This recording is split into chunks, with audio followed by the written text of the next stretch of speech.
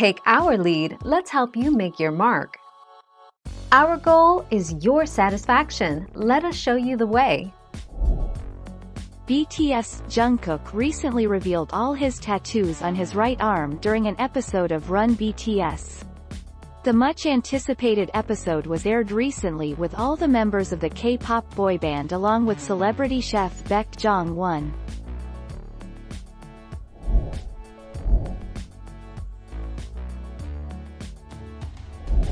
Make your mark, take our lead.